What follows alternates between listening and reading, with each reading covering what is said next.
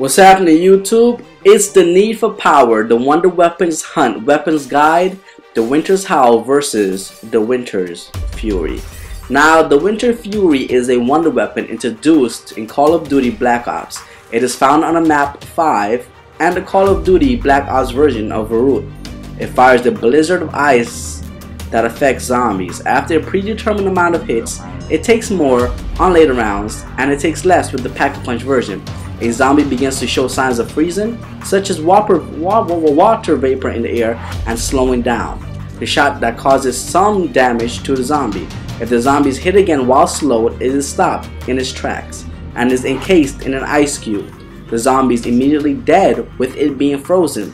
If left for a few seconds, shot or walked into, the ice cube will shatter. The normal version holds 6 rounds and has 24 spare rounds.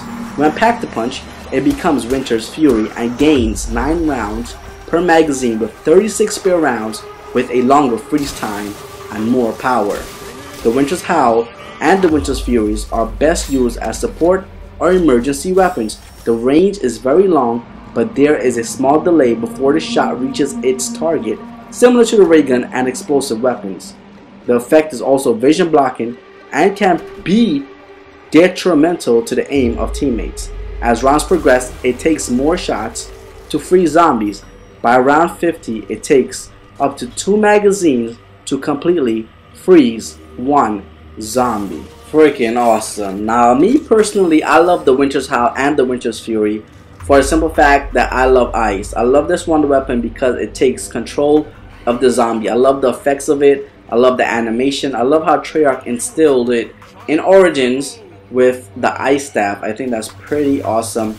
But back to the Winter's Fury and the Winter's Howl. You guys can see the mad scientist is trying to attack me right now. Once it is packed a punch, it does amazing damage. Now you guys can see right here, I just killed the mad scientist.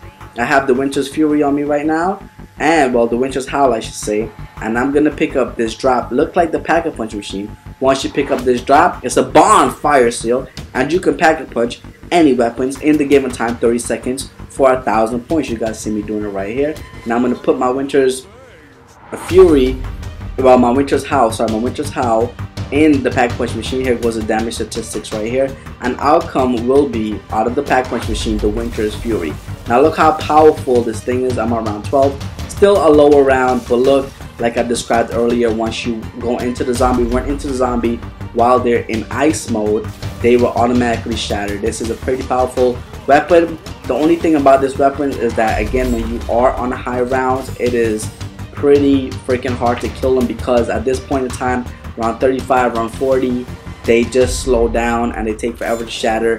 Having to use more ammo than necessary like you are on lower rounds. But again, it is fun, especially if you're trying to save a teammate because all you gotta do is spray and pray and it covers a wide range of of targets and they will just freeze in that capacity just go down and they will just die instantaneously but again sometimes it does take a lot more ammo in the higher rounds with the Winter's Fury because of the low capacity, low ammo capacity. It's the need for power, the Winter's Howl versus the Winter's Fury. Hope you guys enjoy my video. Subscribe and like today if you have not already as President EVILxJUGHERNOG continue to bring you, the viewers, the goods. Wants you to press that subscribe button. Now!